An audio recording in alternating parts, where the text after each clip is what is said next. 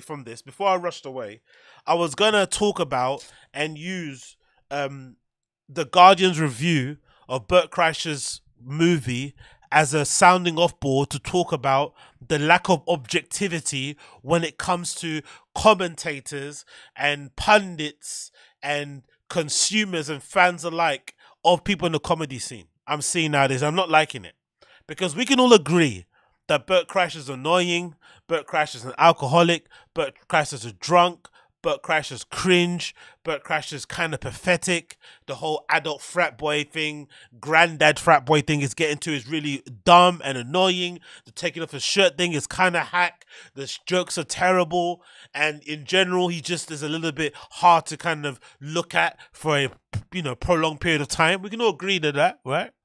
But I don't like this thing that everyone's doing because they're not a fan of him as a person they can't detach not liking him as a person and also being objective and saying, hey, I can understand why some people might like the movie that he made, The Machine, based on his true or not so true life story of him going to Russia um, one time during college, right? People can't detach the fact that they don't like him from the idea that maybe the movie might be decent and that maybe the box office, whatever, revenue that it generated may not be indicative of whether it's good or not. Like it might just be a good comedic movie, but because of the weekend it came out, limited release, like I said already, I'm based in London and there was only one screening uh, no, it was it was only able to, it was only available to screen sorry for one day, and I think that was like last week Thursday or something. So it was on a specific day only, and it's not screening any other times. I already checked um, in my uh, you know late early on today. There was no other screening showing, so clearly there's limited release, not much promo apart from the podcast kind of circuit, which isn't the general consumer. So you're never gonna make crazy bucks if it's not pop if it's not pushed to the general consumer, which it wasn't and you know whatever it may be, him being a niche star, blah blah blah, all these things involved.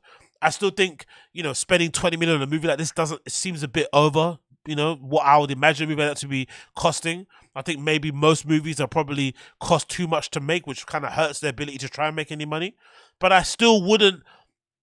It wouldn't be unbelievable to me somebody that I respect their opinion coming to me and said, "Hey, you know, Agostinho, the movie is actually quite decent," and I would be willing to accept it and ex- I'd be willing to hear that and accept it to be true. But for some reason, the fans out there are using sites like The Guardian as a stick to beat him over the head with. It's like, come on, are you really going to trust The Guardian's opinion on comedy? Any mainstream kind of outlet really view on comedy and, you know, and nuance and jokes and shit or whatever and humor? Are you really going to use their kind of as their metric as any kind of sign that the movie's good or not? Especially someone like a Bert Kreischer, like it doesn't really make any sense to be fair. Um, so I think this two star rating from the Guardian is a bit unfair personally for me because if you give someone two, you might as well give them one star. Personally, I think it's probably around the three three stars if you're going to be generous to it. And I'd imagine if you went to see it judging by the people on the Bert Kreischer sub, there's plenty of them on there who really did enjoy the movie. They went there, you know, and believe the hype. They believe the fucking sell from, you know, Bert in terms of going there and having a drink, having a good time, and really enjoying yourself. And they had a really good time. And I'm not surprised that that is a fact. That is a situation. But for some reason, people are out here making it seem as if, like, if you had a good time enjoying Bert Kreischer's movie, that you're some sort of weirdo or something. I don't really understand it. So let me just see what he says here. It's a clip taken from his premiere where he said, This is how to do a premiere. Let's actually just refresh this so it just loads up correctly. This is a video taken from his premiere itself. And I don't know, it looked kind of fun. Would I personally go to it myself? Obviously not. But I can understand if you would like this to be your you know evenings entertainment i can understand it especially when you consider all the nonsense movies out there now in the cinemas loads of stupid political messages loads of um, culture war nonsense dripped in there somebody just making an unapologetically funny movie without any kind of nonsense involved in it, I can understand why it can be successful. And of course, a, a big part of it is that you have to kind of like the main character in the movie, Bert Kreischer. And if you're not a fan of him as a person, it's going to be hard to kind of get over that. But I still think people are little are lacking some level of objectivity in this. This is Bert Kreischer walking to his movie premiere, taken from his Twitter account. It looks like.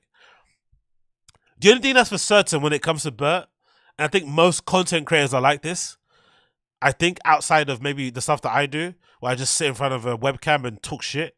But I think if you actually create content when you're out in the real world, there's a part of me that thinks it must be exhausting to be your friend or to be a member of your family because every day is like content.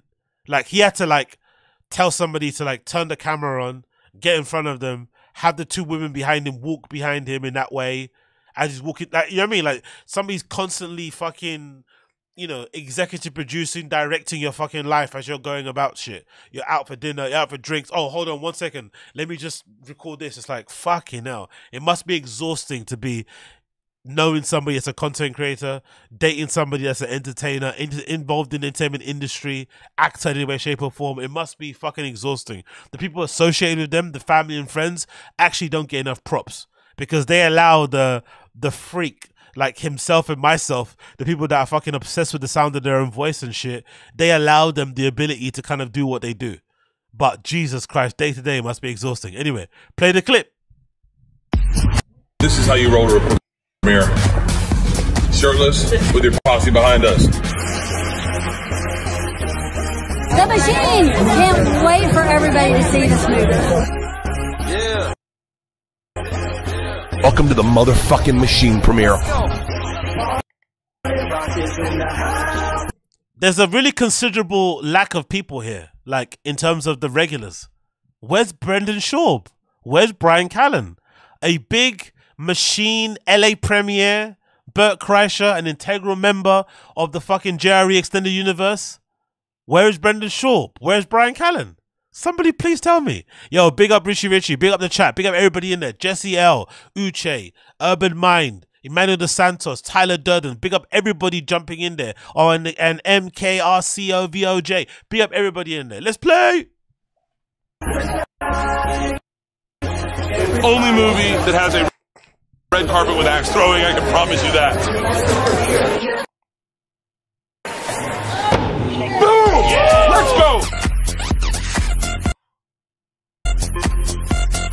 Gets two chicks in 20 years, and this, this is one of them.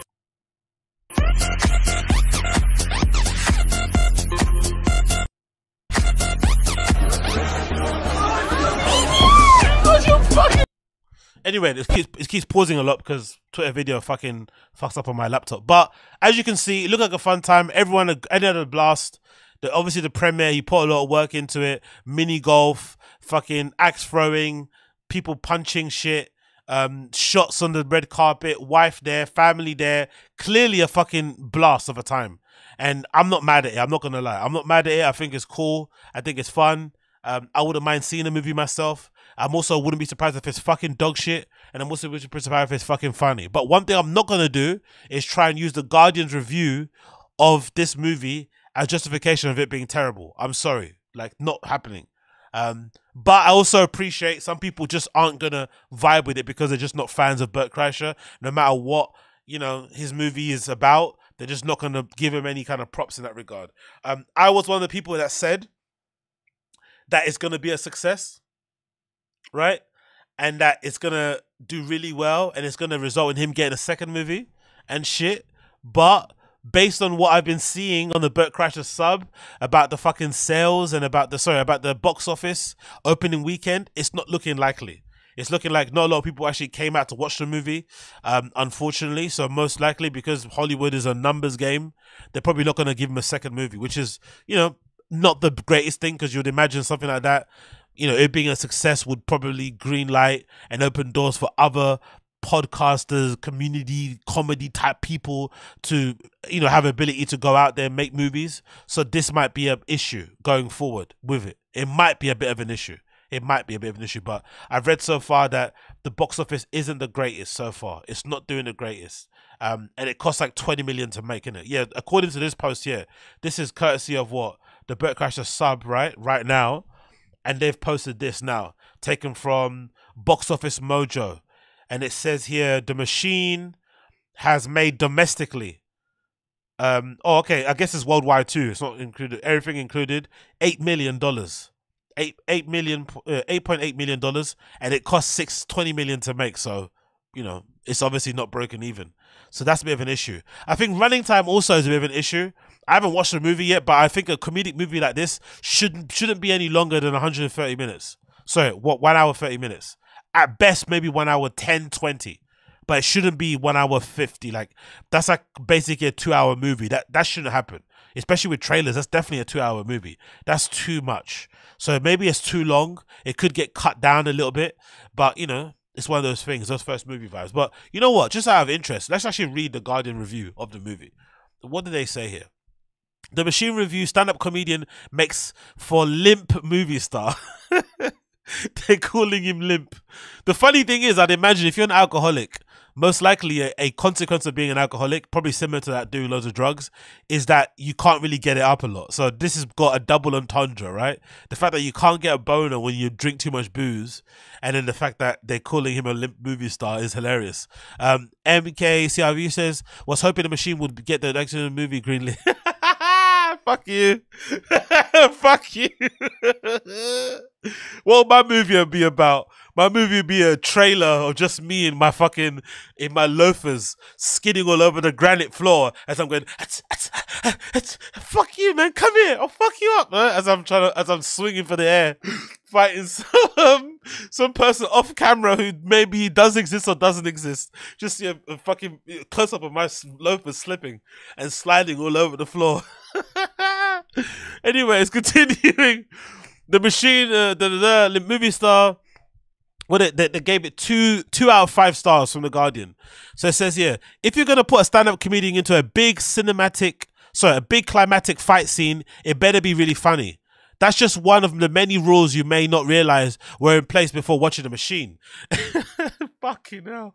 They're going from already. A feature length extension of a stand up comedian Bert Kreischer's most famous routine.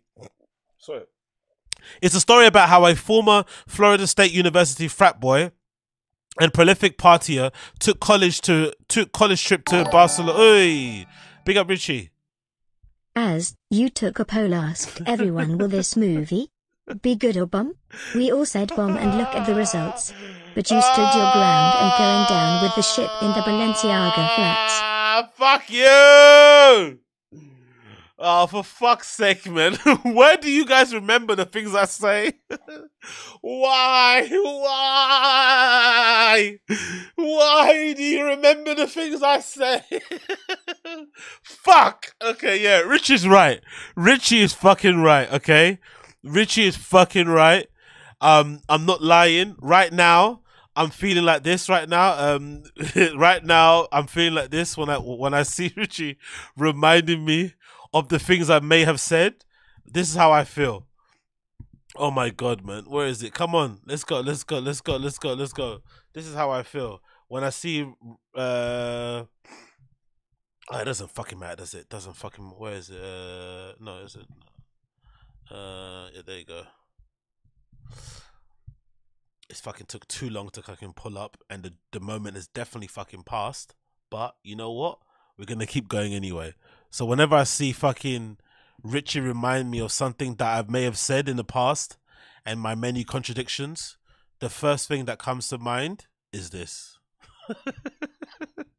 That's the first thing that comes to mind when you remember my contradictions, right? The Arthur clenched fist, right? Just shaking, shaking with fucking rage. Actually, it should be shaking, but for some reason it isn't. The GIF isn't fucking playing. But this is how I fucking feel when I get reminded of my contradictions, my inconsistencies, and my horrible hot takes. Because one thing you're gonna get on the ra- on the random show for sure, maybe not on the Agostinho Zinga show because I'm reporting on culture and fashion and shit, but on the random show, one thing you know you're gonna get for sure from me on here are incredibly bad hot takes. incredibly terrible hot takes, you're always going to get them from me on this side of the internet. Honestly, you want crazy shit hot takes? I'm going to give it to you right here, right here. Okay? Anyway, back to the fucking review from The Guardian. So, um, it says here, um, da da da so sorry, it's sorry, it's, it continues. Uh, the, um, the story is about how a former Florida State University frat boy and prolific partier took college trip to Russia, where he bumbled into a confidence of the Russian mob and wound up helping some gangsters rob a train. It sounds enough like a set piece from an early 2000s studio comedy that impulse to make a long form version makes sense, at least on paper. Hmm.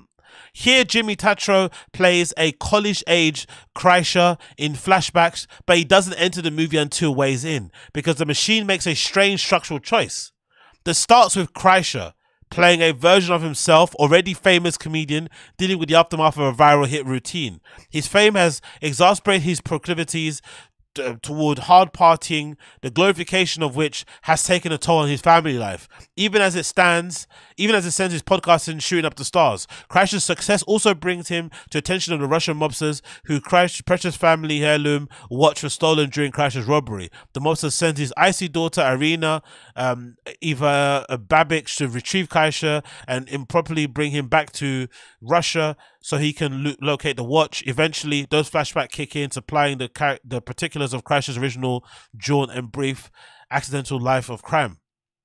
I'm the only person that thinks that makes sense.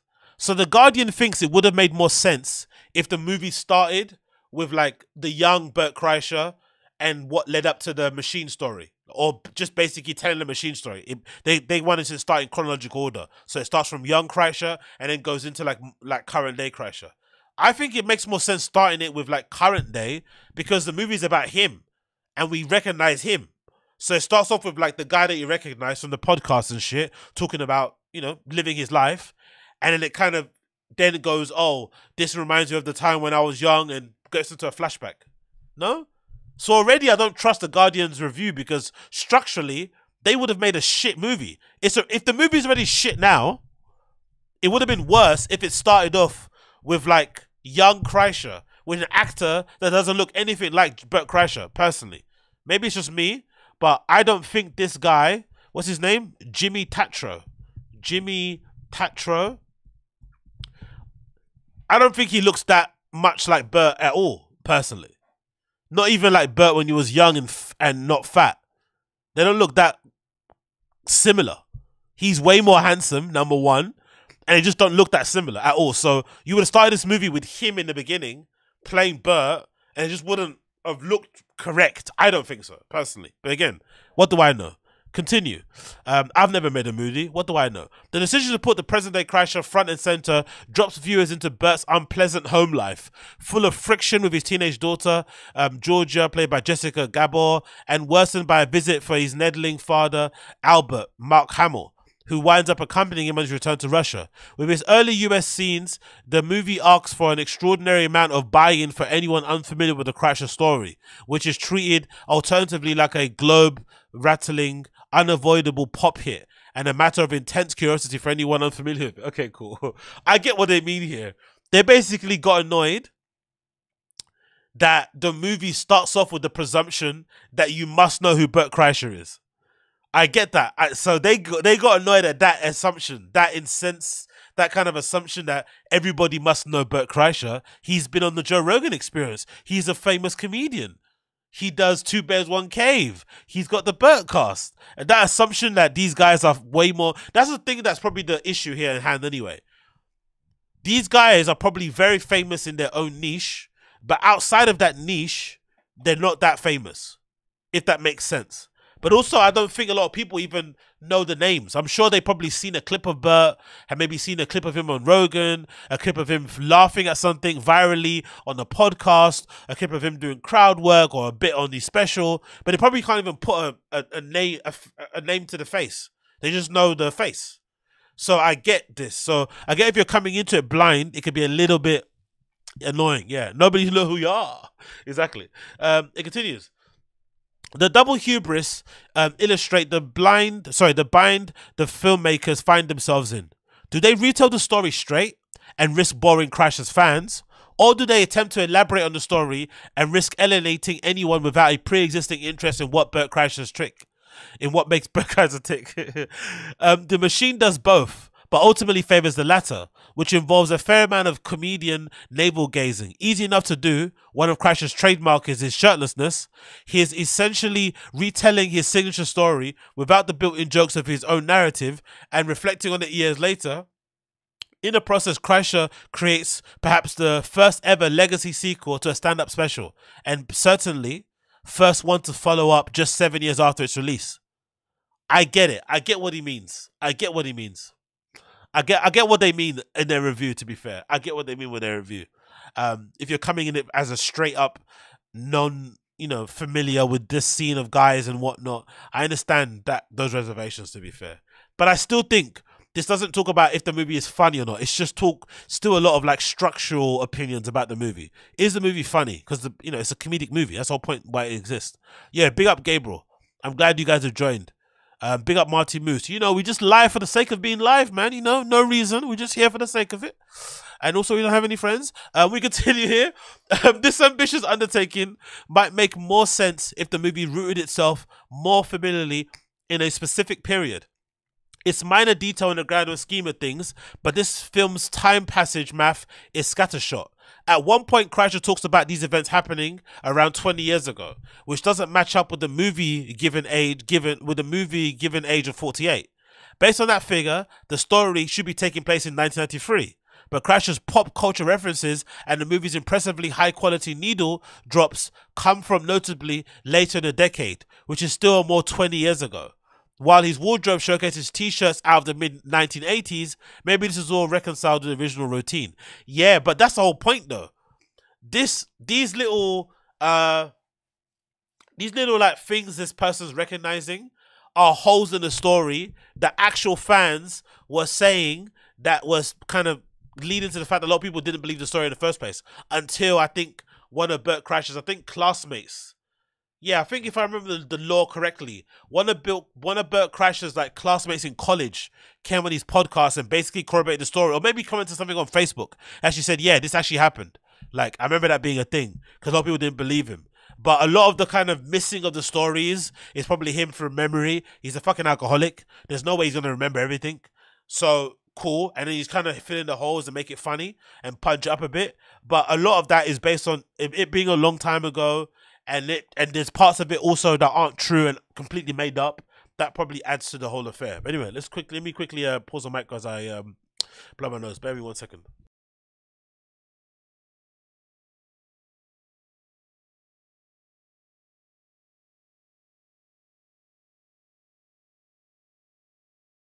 Okay, we're back. So it continues. A few stray jokes land. Albert has a funny line, um, deeply dad-like on his um, self-seriousness about how he took a vow of non-violence after reading a Nelson Mandela biography, and there's a couple of gross um, gore gags. But among all the Russians, only Irina registers as a comic character, and only just barely. Of course, the Guardian will say only the woman's the best one in the movie. Of course, they would say that. If there was a if if Bert had a black friend they'd probably say the black friend was the funniest bit in it. Oh, Agostinho was the best comic comedic relief. His hair, the way he moves around, his mannerisms, the stories. Like, of course they would say that. That isn't really a good indication of the movie, to be fair. It continues. The film's director, Peter Atencio, cut his teeth on the Key and Peele sketch series, as well as the duo's favorite film, Keanu, he knows how to bring a genuine cinematic characters to life into absurd situations. Um, in this particular movie, though, he seems to be studying from the book of Hangover trilogy director Todd Phillips, shooting for slickness rather than slight gags, or maybe the screenplay simply didn't supply the raw materials to create those gags. Either way, the machine is surprisingly stylish as it is surprisingly unfunny.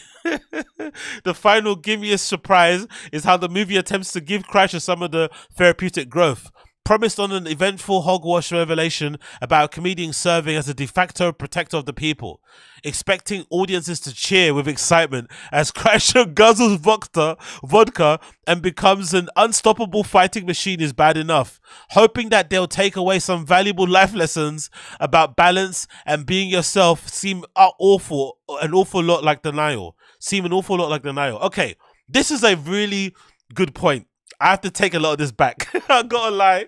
I started off hating this review, but this review makes a lot of good points about why people don't like Bert and why he's quite insufferable and hard to kind of take in large doses. Especially this end bit. Because I felt like there's been a bit of promo I've seen of Bert where he's basically giving these like rallying speeches, almost these like Anthony Robbins type of rah rah motivational speech before the movie about this movie is about being you and coming into your power and all this sort of nonsense. like, hold on, bro. You're a lifelong alcoholic. Like, this story is about you getting fucked up on a college trip and ending up entangled in the Russian mob. This isn't a really a story to kind of use as a, a kind of a motivational for people to go out there and get their passport stamped up. This is like a cautionary tale. This is like one of those, hey, I got away with this because I got away with this, but this is a cautionary tale. Make sure that you, you know, mind your P's and Q's in foreign countries type of stuff. But he's using it as a rah rah speech. So I think these last few lines are really indicative of why people find it hard to kind of root for Bert because what you're rooting for isn't really a good thing. The last line expecting audiences to cheer with excitement as Bert Kreischer guzzles vodka and becomes an unstoppable fighting machine is bad enough. Hoping that they'll take away some valuable life lessons about balance and being yourself seems an awful lot like denial. And what's the one thing people say about Bert? That he's super, he's super in denial. So this is fucking a crazy thing to say. But I'm also not gonna lie. Oh, it's out. Okay, cool. The machine's out in the U. Is out in the U. Okay, June second. I'm watching it tomorrow. Fuck it. I'm watching it tomorrow. I don't give a fuck. I'm watching it tomorrow. Let's actually, actually, I'm gonna, let's actually check for times. The machine, the machine. Let's see if they got available in London. Uh, view London. I'm actually gonna book a ticket and watch it tomorrow. Let's see if it's available. Yay! It's available tomorrow to watch. Okay, cool. So you're gonna get my review live and direct tomorrow when I go and watch it. Let's see. Let, let's see if it's available here. Let's see what tickets they've got available here to check it out on. No time showing. okay, cool. Uh, can I get any any cinema in London showing it, please? Let's see if we can just type London and see if it's showing in any. Or we have to type in a Pacific London place. Okay, cool. It's not letting me show it. Okay, let's go back then. Let's go uh the machine London viewings. This is not good sign. Why can't I find any viewings for this?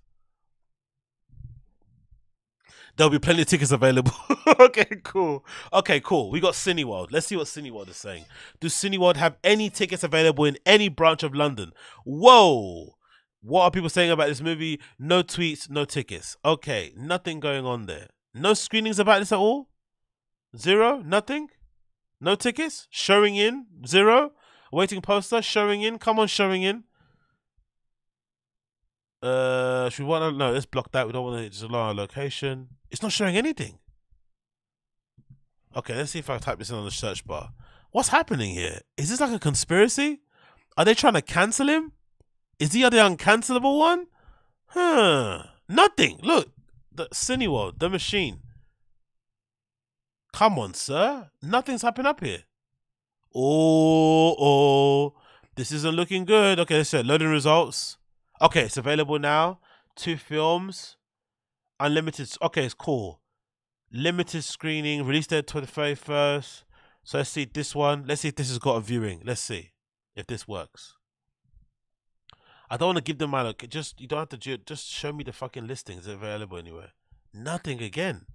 Okay, let's go back to Google. This is so bizarre. Viewings, tickets. I don't know. Let's see if it comes up this way. Nothing. you will indeed have a theatre by yourself. Bring a date. My, this is horrible. But yeah, it's not. I can't find him. What the fuck the tickets at? Nothing's available here. London viewings. Okay, let's take away tickets. See London viewings. Cineworld. I checked it. Louis Love Cinema. No tickets here. Okay, sorry. Okay, cool. Let's see what Louis Love Cinema is saying here. This is very, very interesting. Why you can't find anything to buy tickets for this event. Okay, cool. Let's get out the way here. Anything here? Nothing. Show times, availability. We handpicked. Okay, place. I don't want to show. I want to buy tickets. Let's see. Nothing on there. This is kind of wild, to be fair. I wonder what's happened. Maybe it got pulled altogether. Maybe it got pulled. Honestly, the fact that he got this movie greenlit should be an accomplishment in itself, right? It's a movie based on a story that probably isn't true. Um, and it's a story that doesn't probably deserve a movie. Maybe a limited amount of series, like a four episode run, a little kind of 20 minute episode type of thing. That would have probably worked better.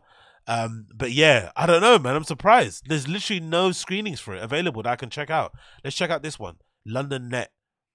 Let's see londonnet.co.uk. Do they have any screens I can just check to see the tickets are available?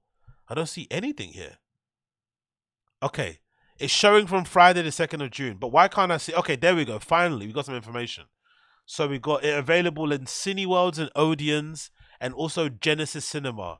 But this is like what next week? When's what? What day is that? Okay, so there's nothing available for the second. So what's available on the first of June? Uh, what's available on the first? Nothing here. So what's the It's Thursday, right? There's nothing available here for the for today, the Thursday, because I'd watch it. I'd, I'd actually go watch it later today if it's available, but I can't see it. So let's just see if we can book a later time at one of these other cinemas. These are all so far away, though. Fucking hell. Let's see if the Genesis has anything. Genesis Cinema. They have it available. Okay, cool. Let's see Genesis Cinema it, have it available. This is pretty wild. I'm not gonna Ge- Genesis Cinema. What's that? Uche, this movie flopped harder than Callen's eyelids. Ah, honestly, this hill I'm dying on with the machine is fucking wild because I'm going on like it's fucking Godfather or some shit. I'm not letting this one die. but it's so clear no one gives a fucking fuck. And these guys clearly aren't as famous as they think they are. You know, and I'm just not letting it go. I'm just holding on to it.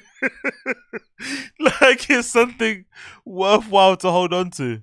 Let's see if I can find it. It's not available on there. Is it available? Can you see here? The machine. It's not even on the list.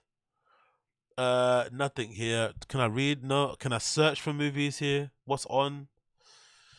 Fucking hell, brother. What's on? Uh, family film. Nope, we don't want to see that. By title. Can I just screen? Can I look at it by title?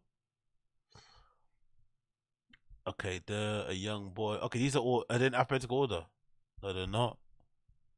Yo, can't I just search? What's what's with this fucking website? Why can't you just let me search for a web for a title? What is it by title by date? What is this? Okay, by date. How do you search by title? Okay, let's just let's just do by date.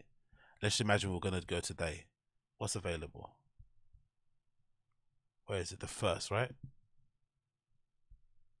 Okay, the first. Is there? There's no machine here. Fucking hell, brother. Okay, so it's I, I don't know where it is.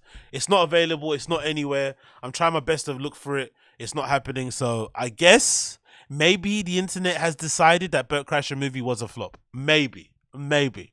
But you, you you can look at it both ways, right? Both ways, as Brendan Schaub would say. Look at it both ways. oh, mate. Um, what people saying in the chat? AG says the theaters are so far away. yeah, they're too far, man. there goes the ton of Segura movies. He lost all the weight for nothing. Oh yeah, true. Bless him. Which is what Papa the person movie premiere. Nah, but but Brendan definitely wasn't there. Um, he's at least catch the Martine, the matinee to get to the discount. Then he might be worth it. Okay, fair enough. The movie's not worth leaving your home for. Netflix maybe. You know what's funny? That's probably gonna happen. That should be hap- That should happen sooner rather than later. To be fair. Um. Excuse me. Marty Moose. The machine sold six thousand. Six, sorry, six million and and three hundred. So basically, six point three million in the US, and only sold hundred k outside of the US. So that figure of eight million that I got all together, maybe inflated, maybe not. But the fact that it's not breaking ten and it cost twenty mil to make is painful. It only made hundred k outside the US. Damn, son. Yeah, that that might be a that might be a flop in it. I think that might be a flop. What do you think, guys? I think that might constitute as a flop. If you only make hundred k internationally, that might constitute as a flop. Maybe. Jesus Christ. To be fair, it's not surprising, is it? I think a lot of people were thinking that when he put the movie out in the first place. I don't think a lot of people had faith that he was going to do well. Um, I thought he would do well because, like I said, the climate in movies at the moment, people are making too many ideologically possessed movies and shit. I thought maybe a bit of comedic relief would be great, but then I also didn't factor in how unlikable and maybe un not non-famous Bert is. Right, he's not the most famous guy in the world, and he's not the most likable guy in the world. So it made sense why some people kind of weren't really gonna be big fans of the movie or root for it or come out for it. it made sense. You know, I should have maybe had that in mind. But again, you know, I, I always tell you, man, the random show is your home of fucking horrible hot takes. And if I can give you horrible hot takes, then I'm gonna give you horrible hot takes. I'm not gonna stop on that bad boy. I'm not gonna stop. I'm not gonna stop. Okay. Uh, you can't stop me.